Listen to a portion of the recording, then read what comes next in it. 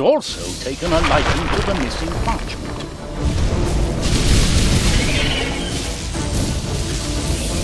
By my beard!